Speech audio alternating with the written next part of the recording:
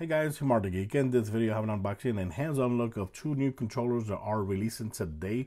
Uh, these are the GameSir Kaleid and the GameSir Kaleid Flux. Now, they are both for Xbox and they're also compatible with Windows and also Steam as well. So if you have a Steam Deck and you want to have a wired controller, any of these two will work with them. Let's go and show you guys this one right here. This one is just the Kaleid. The only differences between these two, they're very similar. But the only big differences is the buttons right here. These buttons right here are actually micro switches. And these are actually membrane, which is feels more like a regular controller. Um, this one is actually a little bit cheaper. This one goes for $46.99. Of course, you know, later on it might be on sale. Same, same thing over here. This one is $49.99. I honestly thought that this one was going to be a little bit more expensive because it has the flux. I thought that would be mean that it would be more expensive, but it's actually a couple dollars cheaper. And I think it actually looks better. I like the design, the gold patterns and all that. But let's go and show you guys this first. This one first. So of course, you got this is how it looks. This is like see Kaleid. It also comes with a month of Xbox Ultimate, each one of them, which is awesome. And that's it. Let's go and get it out of here. I did use the controllers and I put them back in the box. You know, that way you guys can see how what to expect when you get it through the mail. You got that. I'll put this to the side. Okay. It comes with a very good quality cable, USB A to USB C, and they are three meters long. And of course, you got here the uh, manual. You also have like a little cloth there. And of course, you got the Xbox Game Pass code right there as well. And you also have like a sticker from GameSir. And here we got the controller. There you go. Uh-huh. This is how it looks. Let's go ahead and plug it in right away. I got the Xbox right here. I'm using the up screen uh, screen attached to it. Let's go and plug it in. Okay, we plug that in there. And of course, we're to attach it here. There you go. This is how it looks when it turns on. Of course, these RGB lights can be programmable. You can adjust them. Uh, there is an application for Windows. It's called the GameSir Nexus application. And like you see here, with that application, you can actually adjust the triggers. You can adjust the the Hall effect sticks. You can also adjust the colors of the controllers as well. You could change to different kind of patterns. And of course, with this application, you can also update the controller every time there's a new update. Um, I think I did change the way it looks out of the box. So this is how I left it. The D-pad actually feels really good. And like I said, the this right here, oh my God, if I switch, hit the button, okay. See here, that's how it feels. Because these are micro switches. Um, you got the share button right here. You got the play the I was gonna say PlayStation, the Xbox button right there. The sticks are very good. They're Hall effect sticks, and I also like the grip that they have here, which makes it look feel very very comfortable. The triggers are also very good. Feels really nice. The all the buttons right here feels like they were actually normal Xbox controller feel very high quality. They do not feel cheap at all. And of course, you got the rear buttons here that are programmable as well. And of course, you also have the headphone jack, which lets you, of course, use headphones. You got the manual button over here, which lets you program the button and the buttons on the back. And that's it. Very, very nice looking. So let's go and take this one out and show you guys the other one. Okay, so this one is the Kaleid Flux for Xbox as well, and of course Steam and Windows. I love the um, the boxing a lot more. It's black and it has this right here, very cool. And like you're gonna see, I also like the way it looks. take it out. Whoops.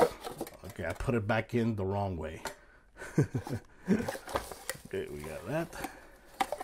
So of course, same as over there, you got the you got the menus, you got the play Xbox Ultimate code, and you have a little like a little cloth right there with Xbox for the controller. And here is the cable. Of course it's also three meters and like you see the color is also different. It looks like a little bit more to the controller like black and gold. Very cool. Even this the tips are actually gold looking I like it looks more I don't know it looks more elegant and it's more cheaper so here you got and look at that look at that also they're both transparent I don't know if you notice in the inside they're both transparent as well. Okay. And it has a little pattern in the inside as well. Looks very nice in the inside. And of course, they have gold buttons, gold triggers, gold bumper. Very good quality as well. Here for your buttons. And the buttons, like you see, the buttons, they feel more like a normal controller. On the other hand, this one feels more like micro switches. And some people don't like the way micro switches look, feel. I like them. It depends on the controller. I think these micro switches actually feel pretty good. But these are more like normal controller, which a lot of people might prefer over those. But I like the way it looks. Feels nice. And of course, let's plug it in so you guys can see the lights. Now, this is actually advertised as that it has gold lights when it turns on. And that is totally true. The problem is, is that I think I actually customized the controller because I was using it with my, you know, with PC. And I customized the controller, the colors, and I don't think I changed it back to gold. So most likely these are gonna have like gold, uh, different colors instead of gold right now. I was gonna say. Okay, there you go. So it's on yellow. Okay, it's not gold right now. Yeah, it's switching colors because that's the way I left it last time I used it. So like you see there, yes, these are advertised as when you turn it on, they are nice gold looking lights with the gold buttons and all that. Yes, that is true. But when you use them and you can use the Nexus application, yes, you can change the colors. It won't stay gold you can change and customize the color to whatever color you want whatever patterns you want you could change them to you can put it like this. Right now it's like breathing i believe or switching between colors. It looks really cool. Very nice. I love that you know it's transparent in the inside. And in the inside you can actually see different type of patterns which makes it look really nice and elegant. I love the color. I don't know. Let me know in the comments which color pattern you like the most. These are black and like carbon, and these are gold. Look at that. And they both have good grip here in the back.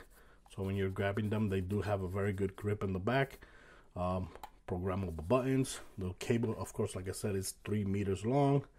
And of course, the great thing about these two controllers, no matter which one you buy, is that when you're when you have them in your hand, they do feel high quality and they do feel like the real controller from Xbox that you expect. The bumpers, the triggers, the sticks feel good. I think the sticks feel even better because these are Hall effect sticks, and they have very very awesome grips here on the sticks as well, which they're not gonna slip if you're playing like first person shooter or high, or high pace games they're not gonna be slipping because they have a very good grip there.